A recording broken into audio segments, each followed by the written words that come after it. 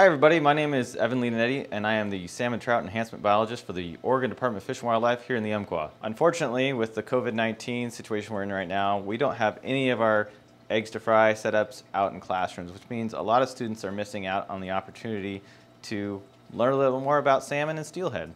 So today, here at the Roseburg ODFW office, we have a fish eggs to fry setup. And this fish eggs to fry setup, we already have hatched out alevin, which we brought these uh, fish here a few weeks ago, but they hatched out pretty quickly, and we'll show you some video of that as well. But first, I want to just kind of go over the setup that we have so that you're familiar with what the tank looks like. So here we have a 20 gallon standard fish tank aquarium. An important part here is the thermometer. So we keep a really close eye on the temperature.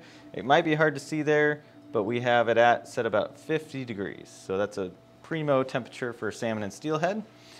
In the back here, if you take the lid off, we can see that we have a filtration system that removes some of the contaminants from the water, and then a pump that's pumping water into a chilling system in the back that's kind of hard to see back there.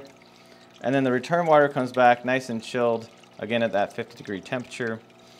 And we also set some gravel in the bottom. And it's more just so that the eggs have some place to rest and the fish have some place to rest so that they don't move around too much, but it also kind of mimics the natural environment in which they would be.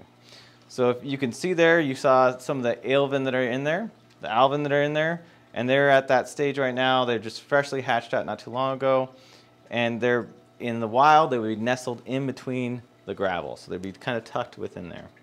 So throughout this series, we're hoping to do a couple different videos for you guys over the next month or so.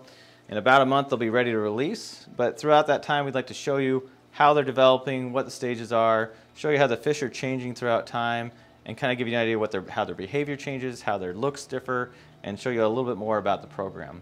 There's a lot of good educational information on ODFW's website in the Fish Eggs and Fry section. There you can find out all sorts of activities and art projects and math projects for kids to do while they're uh, following along with these videos.